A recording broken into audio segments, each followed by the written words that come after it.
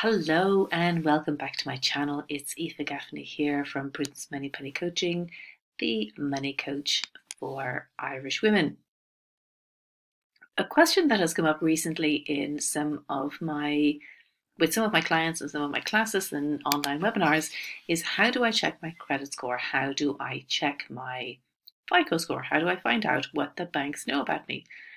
Well, just to make it clear, we have a slightly different system to the system that exists in the States, which is the FICO score, which comes from Fair Isaac, and also the system that exists in the UK.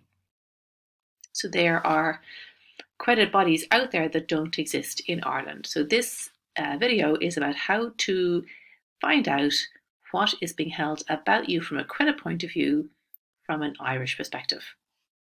So, up until recently, there was only one way that you could get access to your credit reports, and it would cost you €6. Euro. So, if you went to the website icb.ie, you could request a copy of your credit records from the Irish Credit Bureau. And you can do it, you can still do it online, or you can uh, download the form and print it off. The quickest way to do it is to do it online. So, click this link here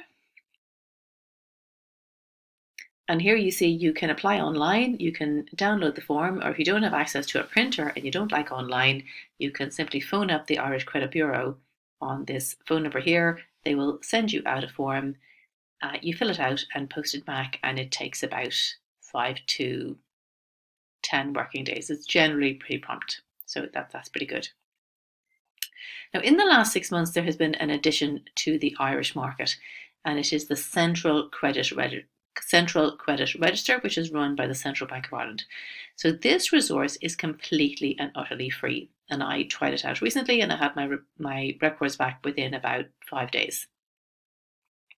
So go to centralcreditregister.ie, go to the borrower area and hit submit a request.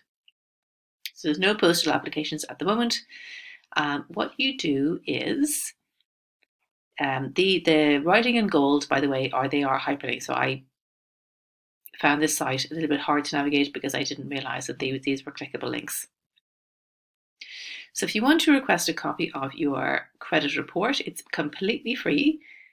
You click go to the credit report. So if you are an individual or sole trader, you're on the left side. If you're anything other, go to the right hand side. So here, uh, you simply Scroll down, go to New Request, and start the request. So what you need to do is, let's hit start the request there.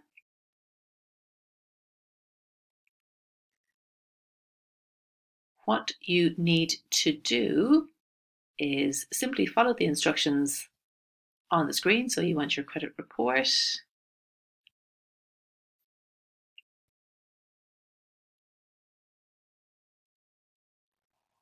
fill out all the information, and it then gives you a form. Once you've filled out all the information, it then gives you a form for you to print off, sign, scan, upload, and then you upload proof of your address, proof of your PPS number, and photo ID. So there's a few extra bits and pieces to the equation. Now, if you get your report back and it's right, that's fine. You don't have to do anything. But there's a few interesting bits and pieces here that you can do to help yourself. So let's say there was a mistake.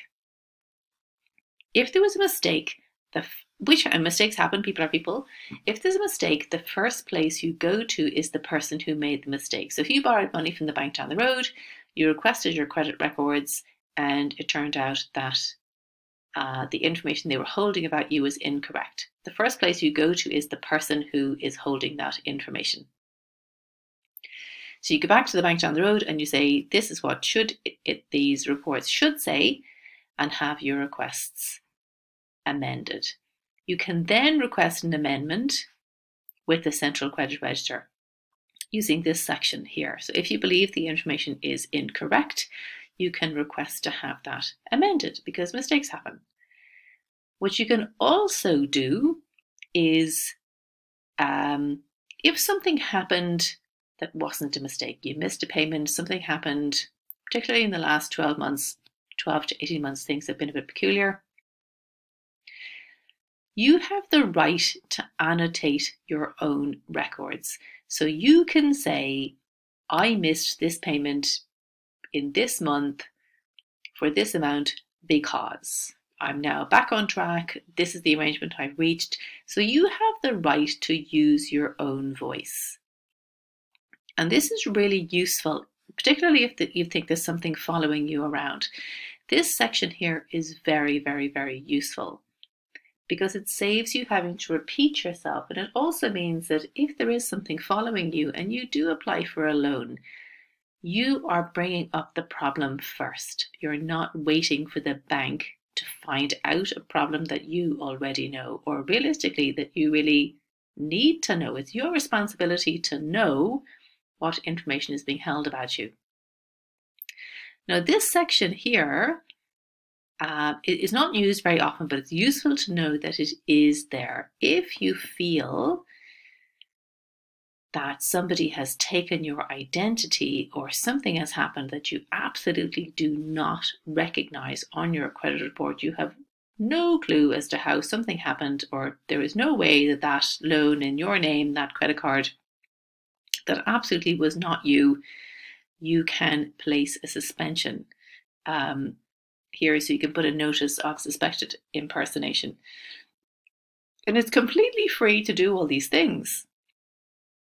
So it's very, very useful to know, first of all, how you request information that's being held about you and it's now completely and utterly free, which is absolutely fantastic. And then if it's wrong, you can have it fixed. If something happened that's not a mistake, it genuinely happened, but you have the right to add in your story. So you can give your side of the story. And if identity theft happens, or you were scammed, or something happened, which happened to me, you have the right to put a hold on everything. And all of this can be done completely and utterly free. So the more you know about the, yourself, the more empowered you are.